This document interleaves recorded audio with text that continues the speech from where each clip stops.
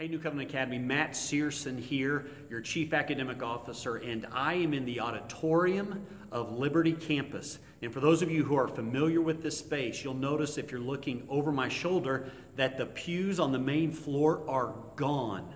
We had an awesome group of volunteers came in, and in less than an hour, had all of the pews taken apart and moved outside. And uh, we are happy to report that all of the pews found a home we did not have to put any pews down, which would have been really sad.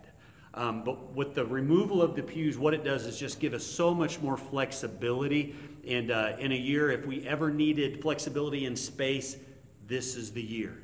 And so you'll notice the chairs are still set up, socially distanced, um, because on Monday we had 80 faculty and staff that came together to kick off our back to school week. And uh, we were able to come together um, physically together for the first time since March. And, uh, and we had just a, a great time of, of, praise and worship. We were challenged and encouraged by Pastor Chanta of Seminole Baptist. And, uh, and the rest of that morning we spent going through our COVID back to school plan, looking at the protocols, the procedures. Um, it's going to take all of the groups at NCA, whether it's teachers, administrators, custodians, kitchen workers, um, counselors, um, just all of those various groups working together and working together with our families.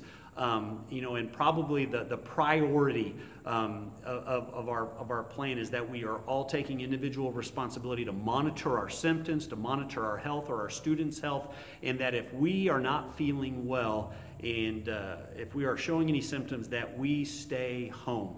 That is going to be so important. And so, for the rest of this week, we are getting ready for students, and we are so excited to have our students back on campus this coming Monday. So, principals and teachers are working um, in their respective divisions to look at the overall COVID back to school plan and then what that will look like at the elementary level or intermediate or junior high or high school. And so we are working not just about the plan itself, but how we can transition students well in light of everything that happened last March. But as we get our students back and we think about um, their social, emotional development, spiritual development, academic development, um, we want to be able to minister to them in all those, those areas and be prepared to do so. You know, part of this has also been processing with our faculty and staff. Um, the things that they've also been through. And we've got to be able to take care of each other. Um, this is a stressful time. We'll not deny that. Um, but we have the support of each other. Most important, we have a God that is in control, a God that is greater than this pandemic moment or this cultural moment. And uh, we are just so looking forward to having our students back and partnering with parents um, to walk um, to walk this moment um, of time, walk that out as Christians. And what does that look like? Um, in, the, in, the, in the lives of our kids as it relates to their faith and their biblical worldview. So we are so excited to have people back, um, and, and uh, our plan is to um, you know, implement those protocols and those procedures. And our goal is that um, as COVID um, impacts our school, which it's going to um, in some form or another, but our goal is that it's minimized, that the impact is minimized. And so if we have cases where um, students maybe have to stay home for a period of time, we continue, we continue to, to educate them um, as, we, as we work through those plans, but being able to have school um, continue. And I know a question that has come up has been, you know, Matt, what would it take to, to, cause us to shut down or to go virtual. And that really depends on where um, the impact would be felt.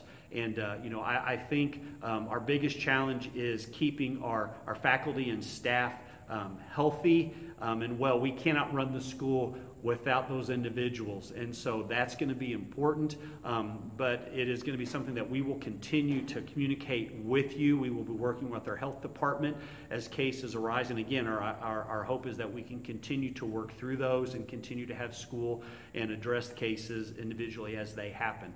And so uh, we would ask that on Monday, as we're thinking about that first day of school, some things that um, we've put out there in that back to school plan that if you haven't read, you can go to our dashboard or our website. Um, the back to school packet also has important information regarding the first day of school. Um, but a big change is that we're asking um, parents to not walk their students into the building. We are limiting access to our building. We also want to limit um, crowds gathering outside of our building, and so we're asking that everyone use the car line for drop off and pickup. We've got some great things planned for that first day to still make that day special. We're just doing things a little bit different.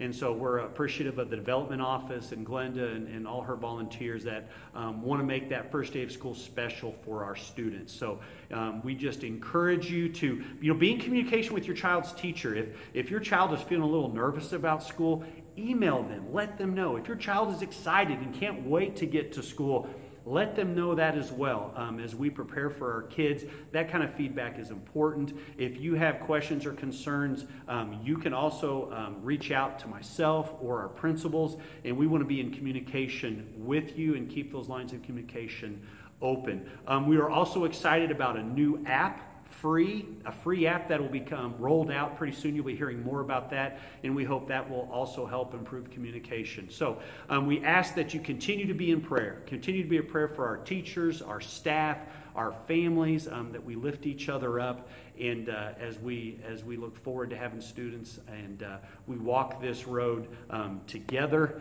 um, but but most of all um, that we have a God that is in control and uh, we can cast those anxieties on Him, and uh, and uh, we are just so looking forward to getting our kids back in the building.